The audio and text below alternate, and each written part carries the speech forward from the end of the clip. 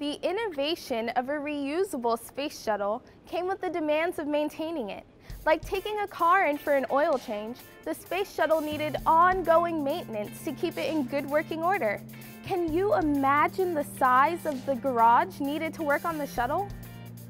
High-tech garages called orbiter processing facilities allowed crew on scaffolds and walkways to reach all surfaces needing repairs.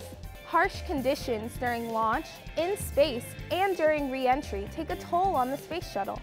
Being in space is, is actually very traumatic to a vehicle like the space shuttle, like the orbiter, uh, because the tiles are so fragile. Every mission, every time we'd fly, we would get a great deal of damage. Now, when I say damage, you and I could look at that with, with our naked eye and think it looked fine. But remember, the engineers are looking at it sometimes with a 10x microscope or a magnifying glass. They're looking for any little dimple, dent, scratch, anything. A major part of processing was preparing for the next mission.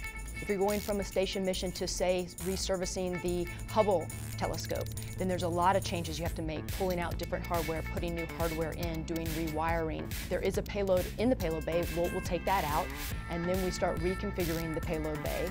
Then we can look at installing whatever small payloads, large payloads, whatever there is. Once the orbiter receives full clearance for the next mission, it moves to the Vehicle Assembly Building. This is one of the largest buildings in the world. The orbiter vehicle is carefully hoisted into a vertical position to be mated to the external fuel tank and solid rocket boosters.